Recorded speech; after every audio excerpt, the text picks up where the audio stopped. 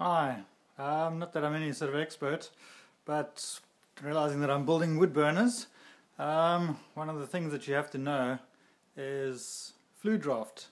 Um, so I've tried a couple of different things to try and figure out how to measure the flue draft, um, and yeah they are.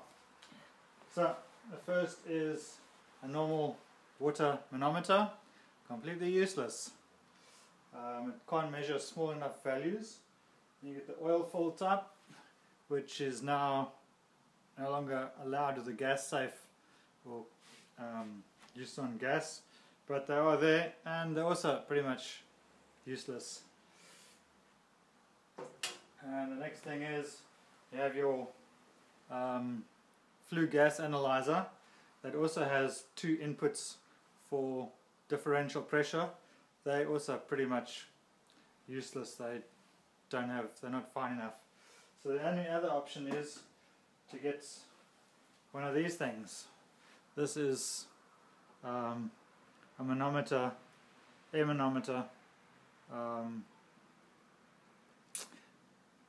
that's, that'll measure small enough values. Inside there, I don't know if you can see, but inside there there's a little bead.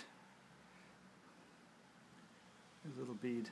All it is is it looks like a little piece of polystyrene at a guess. Um, and um, that is enough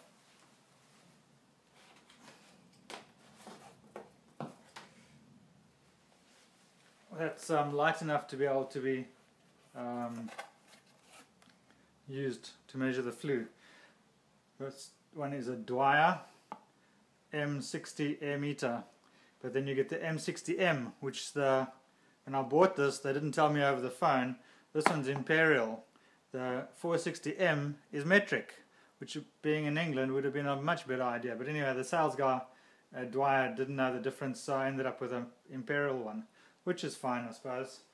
Because um, it measures in Pascal, and that's what um, one wants.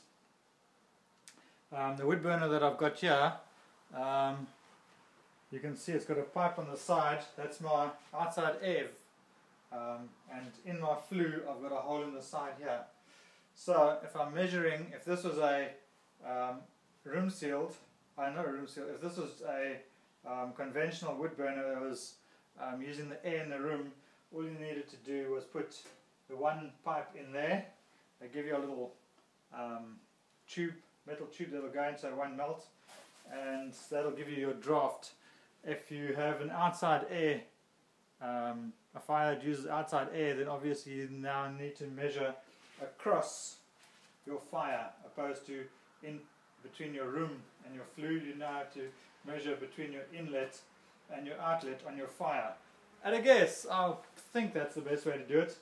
I suppose you could run a pipe outside as well, but if you read the instructions, they give you maximum distances that this thing will operate at, the hose length. I'll give you maximum hose length distances that this thing is allowed to operate at.